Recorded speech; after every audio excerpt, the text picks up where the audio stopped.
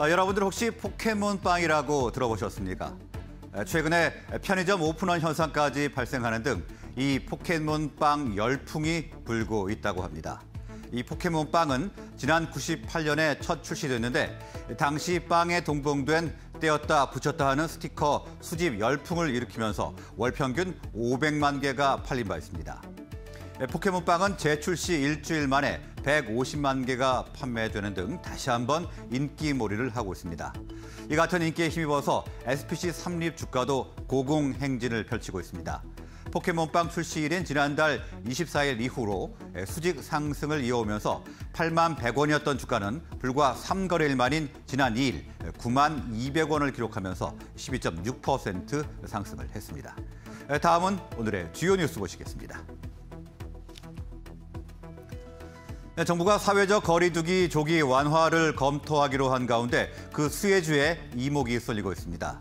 집권가에서는 음식료 업종에 대한 비중 확대 의견을 제시하고 있습니다. 음식료업은 코로나 팬데믹 이후 2년간 높은 실적 성장을 기록했음에도 불구하고 주가는 제자리 걸음을 하고 있고 리오프닝에 따른 1차적 수요 증가와 더불어서 구조적 성장을 이룰 것이라는 전망에 섭니다.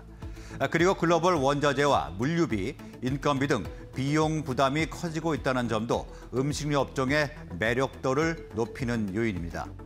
비용 부담이 전 산업에 걸쳐 동일한 영향을 주고 있음을 감안할 때 가격 인상으로 방어하는 음식료 업종의 경쟁 우위가 더욱 부각될 것으로 보이기 때문입니다. DS 투자증권은 음식료 주요 종목의 22년 예상 밸류에이션과 최근 3년 평균을 비교해 보면 대체로 저평가받고 있음을 알 수 있다며 업종 최선호주로 하이트진로와 CJ 프레시웨이를 제시한다고 밝혔습니다. 최근 주가가 급락하고 있는 현대차와 기아를 개인 투자자들은 집중 매수하고 있는 것으로 나타났습니다. 5거래일 동안 4,500원 넘게 순 매수했습니다. 현대차와 기아는 반도체 공급 부족 현상과 러시아의 우크라이나 침공으로 인해 생산과 수출 차질이 생겨 주가가 급락 중에 있습니다. 지난달 28일에는 두 종목 모두 52주 신저가를 기록하기도 했습니다. 이렇게 주가가 내리는 상황에서 개인들이 주식을 사는 것은 저가의 매수에 주가가 반등하면 차익을 실현하겠다는 전략으로 보입니다. 하지만 일부 증권사는 현대차와 기아의 목표 주가를 하향 조정하는 등 향후 주가 전망이 밝지 못한 상태입니다. 전문가들은 외국인 투자자들의 움직임이 없는 상황에서 하락한 가격만 보고 현대차와 기아를 매수하는 것은 위험한 전략이 될 수 있다고 경고를 했습니다. 네, 사이버 보안 업계가 우크라이나 사태로 주목을 받고 있습니다. 러시아가 지난달 우크라이나 침공 직전 우크라이나의 국방부와 외교부, 에너지부, 재무부 등 주요 정부 부처와 금융권 두 곳을 상대로 대규모의 사이버 공격을 한 것으로 알려졌기 때문입니다. 증권가는 이를 계기로 사이버 보안 시장이 더욱 주목을 받을 것으로 예상했습니다. 키움증권은 사이버 보안에 대한 기업의 준비는 초기 단계에 머물러 있고 리스크에 대한 인식과 대응 수준은 아직 미미하다며 지난해 빅테크 기업이 2억 4천만 달러를 사이버 보안 투자에 사용한 것처럼 향후 관련 투자가 더욱 확대될 것이라고 전망했습니다. 자, 새 학기를 맞아 교육 관련주들이 꿈틀거리고 있습니다. 코로나 때문에 유료 인터넷 강의 지출은 증가한 것으로 나타났고요. 게다가 올해는 입시 정책 변화에 따른 교육 업체들의 수혜가 예상되고 있습니다. 교육주들 주가가 오르는 것은 올 하반기 개정 교육 과정이 고시됨에 따라서 새로운 교육 과정이 단계적으로 시행되기 때문입니다. 변화가 잦은 복잡한 입시 제도에 혼란스러워하는 학생과 학부모들의 사교육 의존도가 높아질 것이라는 전망이 나오고 있습니다.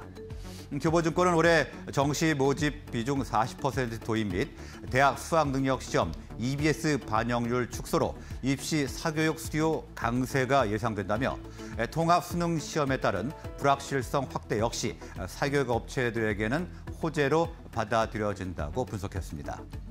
교육주 가운데 메가스터디 교육과 디지털 대성, 웅진 싱크빅 등을 주목하라고 조언하고 있습니다. 올 들어 개인 투자자들이 다시 삼성전자에 꾸준한 러브콜을 보내고 있는 것으로 나타났습니다. 지난해 말 4조 원 넘게 삼성전자를 대량 매도하던 모습과는 상반된 모습입니다. 증권가에 따르면 개미들은 올해 장이 처음으로 열린 1월 3일부터 지난 2일까지 삼성전자, 삼성전자 주식 2조 3천억 원어치 순 매수한 것으로 집계됐습니다. 다만 지난해 12월 8만 원 선이었던 주가는 올해 1월부터 약세를 거듭하면서 2개월 만에 12% 넘게 빠졌습니다. 이 기간 동안 동종업계인 SK 하이닉스 주가가 6.92% 떨어진 것을 감안한다면 삼성전자의 주가 낙폭이 두드러진 상황입니다. 증권가에서는 최근에 주가 조정이 저가 매수 기회가 될 수 있다는 분석이 나오고 있습니다. 생각보다 빠르게 메모리 반도체 업황 전망이 개선이 되고 있고 실적 랠리에 의한 모멘텀 구간으로 진입했다는 설명입니다. 지금까지 주요 뉴스 보셨습니다. 다음은 오늘의 투자 전략 알아보겠습니다. 유한타증권 박우경 차장이 연결돼 있습니다. 박우경 차장 나와 계십니까? 아, 네, 안녕하십니까? 네, 안녕하십니까? 오늘 어떤 이슈 주목하고 계신가요? 네, 지속적인 그 러시아의 우크라이나 침공으로 인해 가지고 전쟁으로 인해서 여러 가지 뭐 물가 지수라든가 에너지 난, 그다음에 경제적인 문제점들이 시장 곳곳을 좀 짓누르고 있습니다. 어, 그 중에서 아무래도 저희가 가장 그 주식시장에서 좀 주목해 볼 만한 산업이라고 한다면은 어, 그 러시아가 갖고 있는 그런 에너지원으로 인해 그 각국에 대한 그런 그 자원 무기화를 좀 앞으로도 좀 우려가 되고 있기 때문에 새로운 신재생 에너지에 따른 산업들에 대한 발전 규모들을 저희가 좀 확인해 볼 필요가 있을 걸로 좀 보여주고 있고요. 그 중심에는 풍력, 그다음에 원자력이 있지 않을까라고 좀 말씀을 드려보고 싶습니다. 네, 에너지 대란과 관련해서 신재생 에너지 주목을 해보자 이렇게 말씀을 해주셨는데요. 어, 그럼 관련해서 어떤 종목 좀 관심 있게 보면 좋을까요? 네, 첫 번째 종목으로는 이제 원자력 중에서 이제 한전 기술을 좀 말씀을 드려보겠습니다. 이제 어, 국내도 이제 원전 산업에 대해서 조금 우호적으로 정부가 조금은 컨센을 좀 바꿨고 이제 앞으로 있을 이제 대선 이후에 대한 결과에 따라 가지고 정책적인 변화들이 조금은 나올 걸로 좀 보여주고 있는데요. 이제 우리나라뿐만이 아니라 유럽, 그다음에 어, 중국, 뭐 일본, 어, 미국 등 주요 이제 글로벌 그 국가들이 원전에 대한 확대를 어, 지난해부터 지속적으로 좀 추진하고 있기 때문에 원전 산업에 대한 그런 발전 규모는 향후에도 좀 상당히 좀 커질 걸로 좀 보이고 있습니다. 네, 두 번째로는 이유가 이제 원자력에 대해서 친환경 발전원으로 이제 분류를 함으로써 어, 프랑스 같은 경우에는 2050년까지 최대 14개의 신규 원자력 발전소 건설 계획을 발표하는 등 긍정적인 이제 흐름들이 좀 지속이 되고 있고요. 향후에 뭐 독일이라든가 뭐 이탈리아, 유럽에 있는 나라들도 원전에 대해서 그동안에 조금은 어, 우호적인 그런 컨센을 좀 바꾸지 않을까라고 좀 생각이 된다라고 한다면은 어, 한전 기술이 갖고 있는 원자력 발전소에 대한 그런 설계 능력들이 향후에 좀 빛을 발할 수가 있을 것이다라고 좀 생각이 들고 있습니다. 어, 국내로서는 이제 체코라든가 폴란드 이제 해외 수주에 대한 성공 여부가 어, 올해 연말 늦으면 이제 내년까지 이제 확인할 수 있는 전망이기 때문에 장기적인 어, 흐름으로 봤을 경우에는 상당히 조금은 원전 산업에서 저희가 긍정적인 포인트를 좀 바라봐야 되지 않을까라고 좀 생각을 하고 있고요. 국내 같은 경우에는 이제 신한울 3, 4호기에 대한 건설 재개 여부 가 이제 공사에 대한 여부가 확정적으로 지속적으로 좀 나온다라고 한다면은 국내 원전 산업도 다시 한번 어, 부흥을 맞을 수 있는 그런 평가단에 있다라고 좀 생각을 하고 있습니다. 두 번째 업종으로는 그 풍력, 풍력주를 좀 말씀을 드려보겠습니다. 풍력 같은 경우에는 어, 여러 가지 종목은 있을 수가 있겠으나 글로벌적인 그런 그 메이커를 하고 있는 CS 윈드로 좀 말씀을 드려보겠습니다. 유럽 같은 경우에는 러시아에 대한 천연가스, 석탄, 원유를 이제 지나치게 좀 그동안에 좀 의존해 왔습니다. 그래서 이번 우크라이나 에 대한 그런 침공으로 인해 가지고 유럽은 러시아 러시아로부터의 에너지 의존을 좀 탈피하는 정책으로 방향을 좀 잡았다라고 좀 보여주고 있는데요. 최근에 EU의 에너지 장관들은 재생에너지 확대를 최대한 빨리에 러시아발 에너지 위기를 뭐 탈출하겠다라고 좀 발표를 했습니다. 그만큼 유럽에서에 대한 그 러시아에 대한 에너지 의존도를 낮추기 위해서는 신재생 에너지 부분에서 앞서서 말씀드렸던 원전뿐만이 아니라 풍력 에너지에 대한 대폭 활성화가 가장 큰 이슈로 좀 자리 잡을 수 있을 걸로 좀 보여주고 있습니다.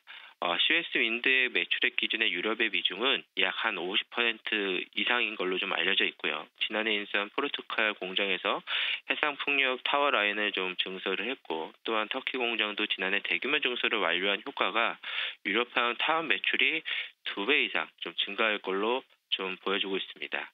경쟁 상대라고 할 수 있는 중국 타워 업체들에 대한 그 반덤핑 판정을 받은 상태라서 유럽 시장 확대는 씨에스윈드에게 가장 큰 혜택으로 좀 들어올 것을 보여주고 있고요. 어, 향후에 있을 바이든 정부, 미국에서 이제 그린 산업에 대한 부양안이 통과를 한다라면 유럽뿐만이 아니라 미국에서의 그런 풍력 바람이 어, 빨라지게 된다면 동사의 성장성은 더욱더 어, 가시성이 좀 높아질 걸로 좀 보이고 있습니다. 최근 들어서 이제 바닥권에서 좀 올라온 측면들이 있으나 현재 구간에서는 밸류에이션상 좀 저평가 국면이 아닌가라고 좀 보여주고 있고요. 최근에 그런 상승에 대한 그런 차익 매물이 나옴으로써 어, 주가가 조금은 조정을 좀 보인다면은 매수 찬스로 사용해 볼 수 있겠다라고 좀 말씀을 드려보겠습니다. 네, 원자력과 관련해서 한전 기술, 풍력과 관련해서 CS 윈드 알아봤습니다. 오늘 말씀 고맙습니다. 네, 감사합니다.